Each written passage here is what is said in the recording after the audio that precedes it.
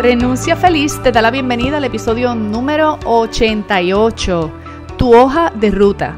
Mi nombre es Marisa y estaré por aquí compartiendo contigo sistemas simples y herramientas que te simplifiquen, te faciliten y te agilicen el proceso de comenzar tu negocio mientras trabajas para que tengas una renuncia feliz, feliz, feliz y tengas tiempo que puedas dedicarlo a las cosas que son más importantes para ti como tu familia, tu hogar, tu salud y esas metas personales que están todavía en el fondo del bucket list o en la parte de atrás de tu libreta o en la página de Cheo o en la lista de resoluciones o en la lista de revoluciones o donde sea que las hayas anotado, ya está bueno de estar acumulando sueños, de estar acumulando cosas que decimos que vamos a hacer, pero que en el fondo ni tú te crees que las vas a hacer. Y el problema de eso es que como no confías en ti, no crees que lo vas a ejecutar, lo pones ahí como a modo de consolación y yo le llamo a esas listas la lista de hacer que las cosas no pasen, porque es como que lo que caiga ahí, olvídate que va copy and paste el año que viene para la próxima lista de resoluciones. Y de ahí copy and paste para la próxima lista de resoluciones. Y lo que hacemos es frustrarnos, ver que los años siguen pasando y ese dinero que queremos ganar no llega, ese negocio que queremos montar no empieza, esa libertad financiera, esa eh, felicidad con la que soñamos, lo que hace es complicarse ya está bueno. Si eres la, si es la primera vez que escuchas este podcast, si eres nueva, nuevo en este espacio, te doy la bienvenida oficialmente. Gracias por estar ahí al otro lado. Este es un podcast de emprendimiento, a pesar de que hablamos eh, de renuncia feliz, de la renuncia. La renuncia feliz es un proceso, no un suceso. Es un proceso en el cual hacemos la transición de empleados a dueños de negocio y digo hacemos porque yo me meto en este proceso con, con mis estudiantes, los acompaño a hacer la transición de su vida como empleados a su vida como dueñas y dueños de negocio de una manera responsable. No invitamos a nadie a renunciar para entonces ver qué van a hacer con su vida. Si tú tienes problemas con tu jefe o con tu jefa, si tú no aguantas la empresa donde estás porque es que a ti no te gusta el trabajo, chequéate bien antes de tomar decisiones porque el emprendimiento debe ser un camino de vocación, un camino de libertad. De hecho, es una jornada personal. La forma en que enseño este proceso, la forma en que lo comparto contigo, te darás cuenta desde el primer episodio hasta el de hoy que hago un continuo llamado a un emprendimiento con conciencia, ¿verdad? Con propósito.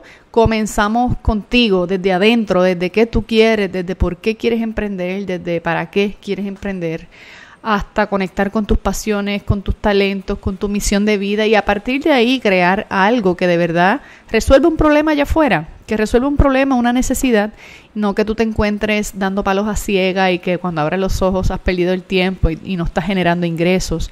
O estás generando ingresos pero no te sientes feliz en lo que haces. Queremos apoyarte a hacer una, una transición de la vida que tienes a una vida excepcional, de una vida estupenda. Si tú estás escuchando esto que te digo y te identificas, pues estás en el sitio correcto, llegaste al lugar correcto eh, hoy vamos a hablar de la hoja de ruta. Esto es una técnica, lo que voy a compartir contigo. Se utiliza mucho en la gerencia de proyectos, en el project management. Como les he contado aquí en varias ocasiones, utilizo eh, la, destreza de la gerencia de proyectos en mi negocio principal. Eh, Renuncia Feliz es un programa, pero no es mi negocio, no es mi negocio principal. Mi negocio principal es una firma de consultoría en la cual ayudamos a empresas a obtener sus resultados, a avanzar eh, al, duplicar sus ingresos, a minimizar sus gastos, a, conseguir sus objetivos estratégicos a través de la planificación estratégica y la ejecución estratégica, que es lo que se conoce por ahí como project management, pero la forma en que enseñamos el project management es basado en estrategia, no basado en mucha cosa técnica. Queremos enseñar a las empresas a tener resultados y lo que yo hago en Renuncia Feliz es enseñarte a ti a tener resultados para que eventualmente también te puedas convertir en un negocio, puedas convertir tu idea en, una empresa que continúe teniendo resultados. La hoja de ruta se le conoce de distintas formas. Hay gente que le llama timeline, cronograma, le llaman este mapa, mapa de ruta, le llaman de distintas maneras. Eh, a mí me gusta la palabra hoja de ruta porque literalmente me genera una imagen mental, visual, donde me imagino un papelito con una hoja que me muestra el camino y básicamente eso es lo que es, de hecho mi misión personal en esta vida es mostrarte el camino de la libertad personal, que tú encuentres tu camino propio de libertad personal. La hoja de ruta que yo te voy a hablar hoy no es exactamente de libertad personal, sino es, te voy a hablar de la técnica, tú la aplicas para conseguir lo que tú quieras. Este es el gran secreto para hacer que las cosas pasen. Este es el gran secreto de empresarios, de líderes, de eh, grandes ejecutivos, ejecutivas, empresarias, empresarios. No es ciencia muy complicada, de hecho es bastante sencillo, básicamente tres pasos. Lo que pasa es que no son el 1, 2, 3 que conocemos siempre. Nos han enseñado a lo largo de la vida a que, ok, paso 1, paso 2 y paso 3. Explícame esto en arroz de bichola, explícame el 1, 2, 3. Y hay tres pasos, pero le queremos cambiar el orden. Y ahí está la magia de lo que te quiero compartir hoy. La hoja de ruta es una técnica en la cual dibujamos el mapa que nos va a llevar desde el punto donde estamos hasta el punto al que vamos. Bien importante que no importa lo que tú emprendas, si es un proyecto personal, si es un negocio que quieres crear, si es un proyecto en tu casa, como este remodelar el baño, por ejemplo, tú no sabes la cantidad de gente que se ahoga en un vaso de agua porque no saben, saben que quieren el resultado final del baño remodelado, pero no saben ni por dónde empezar. Entonces traen al contratista para que tumba la pared y empiece a hacer cosas y por allá van y buscan losetas de piso y por el otro lado buscan este eh, herramientas y cosas y cuando llegan no saben ni qué va primero ni qué va después. Con facilidad eh, estos proyectos terminan siendo un remache un proyecto que termina costando más tiempo, costando más dinero y el resultado final pues no necesariamente nos satisface. De modo que te voy a enseñar esta técnica. La hoja de ruta tiene muchas formas de hacerse. Te, la pueden explicar desde bien complicada, bien técnica, bien detallada, hasta un, dos, tres, como te lo voy a enseñar hoy aquí. La hoja de ruta, básicamente, eh, lo que propone este modelo que te voy a compartir, no es el único modelo que yo uso, pero sí es el que más me resulta con los emprendedores y las emprendedoras que quieren emprender o que quieren eh, iniciar algún proyecto personal. No necesariamente tiene que ser un negocio, puede ser emprendimiento, puede ser eh, crear un podcast, tu emprendimiento puede ser un libro, tu emprendimiento puede ser sacar un producto al mercado, o sea, pueden ser distintas formas de comenzar un camino. El asunto es que lo vamos a dividir en tres pasos. Lo que te voy a proponer en este caso es que invirtamos los pasos. Básicamente, en vez de usar el 1, 2, 3, vamos a usar el 3, 1, 2 en orden invertido. Vamos a empezar por el paso final. Típicamente, lo que tú piensas cuando yo te hablo de hoja de ruta es eh, dime paso uno, dime paso dos y paso tres llegue a la meta, ¿verdad? Pues no, vamos a empezar al revés. Vamos a empezar con la meta. Paso número uno, establece la meta, define la meta. Muchas veces las personas, el problema que tienen para llegar a donde quieren llegar es que no saben a dónde es que van. O sea, si tú no, si tú no tienes claro a dónde es que vas, ¿cómo es que sabes si vas a llegar? ¿O cómo vas a saber cómo llegar? No tienes que ser un experto, no tienes que ser un gurú de ninguno de los temas en los que tú quieras emprender, pero sí necesitas tener claro a dónde vas. ¿Cuál es esa meta final en este proceso? Te voy a dar un ejemplo. Yo estoy escribiendo un libro en estos momentos. Mi meta final no es escribir el libro. Mi meta final es publicar el libro, ¿ok? Entonces, mi, mi, mi imagen del libro publicado es ya un libro con carpeta, portada contra portada, un contenido en páginas eh, y un libro que esté disponible eh, físico y virtualmente, probablemente en un formato digital, probablemente también en, formato audible, o sea, lo estoy visualizando, pero terminado, un libro que ya está publicado. Entonces, es, es bien diferente cómo yo me organizo para escribir un libro y solo escribirlo a escribir un libro hasta publicarlo. Entonces, si mi meta final es publicar, el libro publicación, la publicación del libro, pues realmente ese es mi primer paso, definir exactamente cómo es mi meta, cuál es mi meta. Entonces, tan pronto yo tengo mi meta definida, entonces el segundo paso es realmente el, que era el primero. Eh, primero es a dónde voy y después es en dónde estoy. El segundo paso vendría siendo el punto de inicio, que es en qué lugar yo me encuentro al momento de empezar este proyecto. Mi meta es que se publique el libro. Mi punto de inicio es, no sé nada de libros, nunca he publicado, no tengo este, una referencia. Eh, conozco un par de escritores, conozco un par de autores, Eh, pues, por ejemplo, mi esposo ha publicado varias veces. Tengo amistad directa con importantes escritores que conozco y respeto mucho en este país. Conozco autores que no necesariamente están en la categoría de escritores, pero que tienen libros publicados sobre distintos temas. Y yo puedo pensar, bueno, yo no sé mucho, pero conozco gente que sabe. Entonces, en la, en la vida no se trata de saberlo todo, sino de a quién conoces y quién te conoce a ti. De modo que en este paso número uno, identifica la meta. Paso número dos, identifica en qué punto te encuentras, tu punto de inicio. Haz una lista de todo lo que tú tengas alrededor en tu vida que tú entiendas que te pudiera vincular a ayudar a acercarte a esa meta. Ahí vas a anotar personas que tú conozcas, vas a anotar eh, libros que tú tengas que a lo mejor quieras volver a leer. Vas a anotar cualquier curso que hayas visto por ahí que hable sobre ese tema que tú quieres desarrollar. Eh, te vas a meter en internet, en Google y vas a buscar qué hay disponible para ayudarte. Puedes buscar, por, por ejemplo, en mi caso, yo podría entrar a Google y decir cómo publicar un libro en Puerto Rico, por ejemplo y me van a salir varias alternativas, me van a salir varias opciones, probablemente aparezcan maestros, mentores. En mi caso, yo encontré una mentora que es Anita Paniagua. Ella, eh, yo la contraté para este proyecto del libro eh, porque ella enseña la, autopublicación, que es una publicación a través, eh, tú misma publicando sin, sin necesidad de que haya una mediación de una casa editora. Eh, tú puedes irte por la vía tradicional o te puedes ir por la autopublicación. Me gustó el modelo que ella presentó, me apunté en un curso. Yo sabía que mi punto de inicio era que yo no tenía conocimiento alguno, pues buscando recursos, la encontré a ella, tomé el curso y a partir de ahí tomé la decisión que me voy por ese modelo. Entonces, ya tenemos los primeros dos pasos set. Ahora viene la parte interesante. Tienes meta definida, tienes identificado el punto de inicio, ahora viene la carne lo que está en el medio entre donde estoy y a dónde quiero llegar. En esta parte es donde te vas a poner creativa, te vas a poner creativo y te vas a dar el permiso de, de hecho yo te sugiero que hagas esto en tres páginas como parte del ejercicio. Página 1, la meta bien descrita en detalle.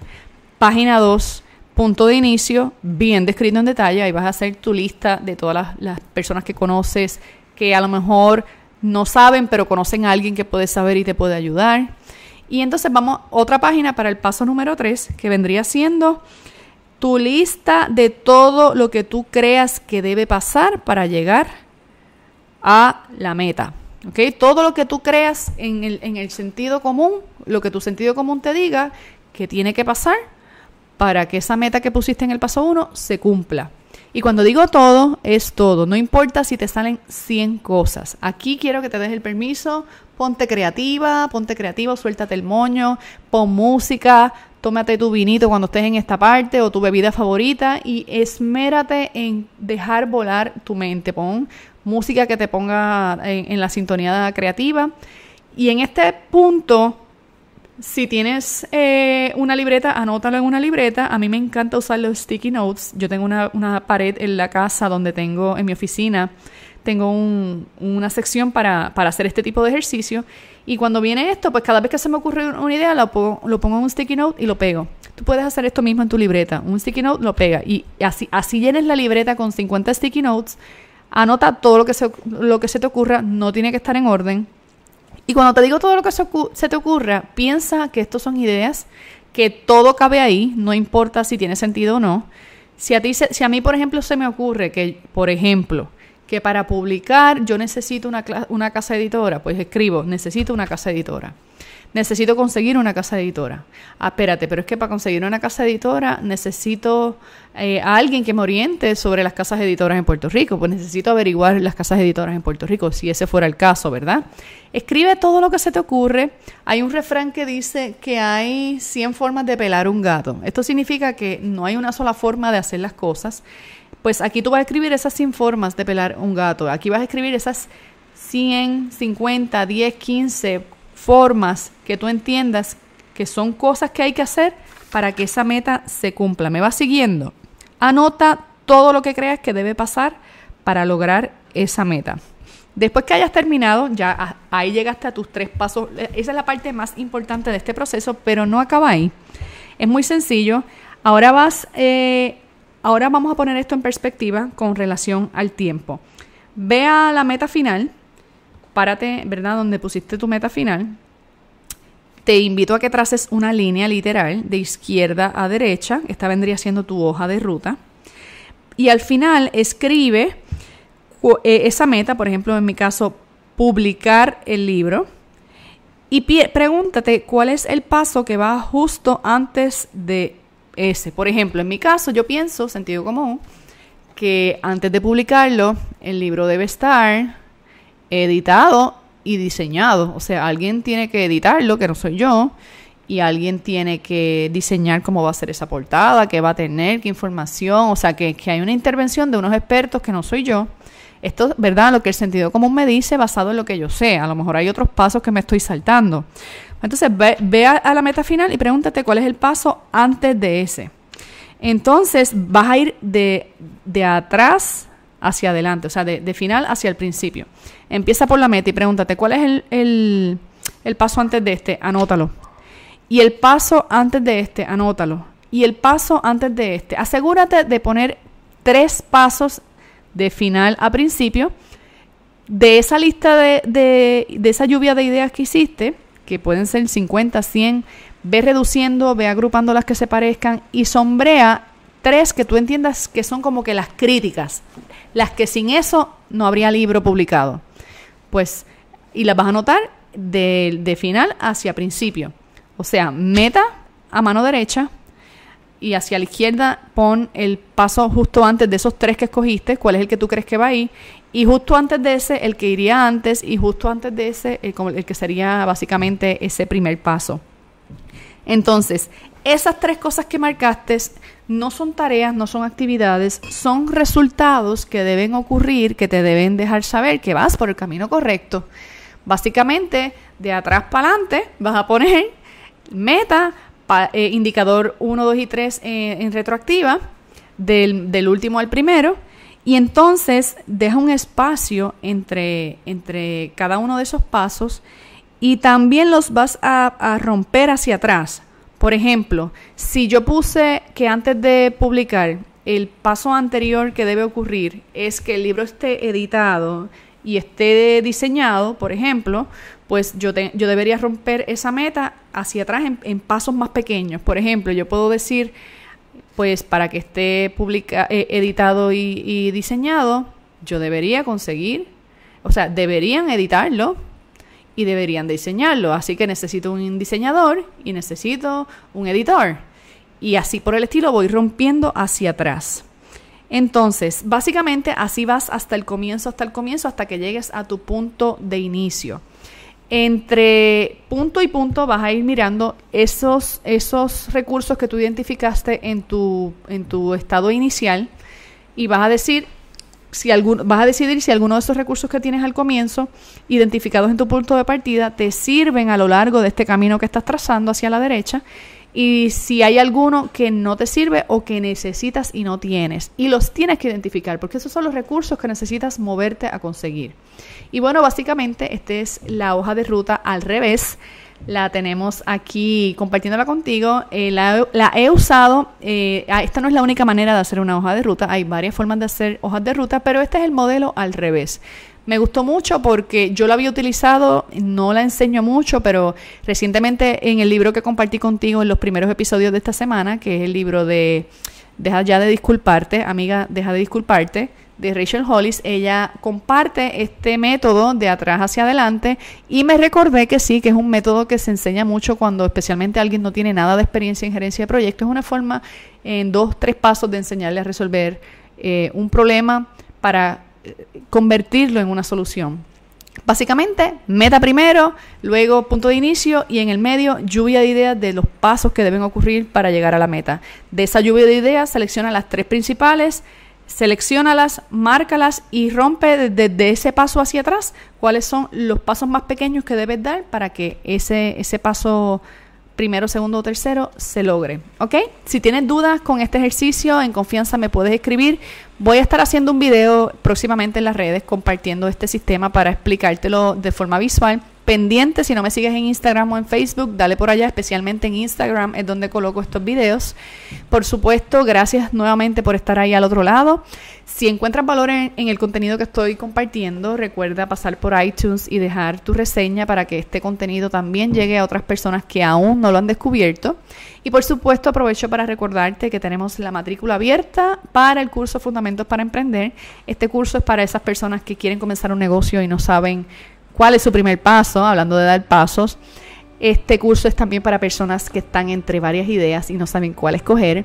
O peor aún, que saben que quieren comenzar un negocio, pero no saben de qué hacerlo, no saben si es un negocio eh, de servicio o es un producto que quieren crear o qué rayos es lo que quieren hacer. Este curso te va a ayudar a descubrir esos talentos, esos, esas pasiones que puedes poner al servicio de la humanidad. Sobre todo para que tengas un proyecto de emprendimiento empresarial alineado con tu propósito de vida, con tus talentos y con tus pasiones. Gracias nuevamente por estar ahí al otro lado. Recuerda compartir el episodio, dale share en tus redes sociales, en Instagram, en Facebook. Compártelo en tu chat de WhatsApp, en, el chat de las redes sociales también. Compártele el enlace a alguien que sepas que se puede beneficiar de esta información que comparto. Y por supuesto, estamos con un podcast diario esta semana, así que nos vemos mañana a la misma hora y por el mismo canal.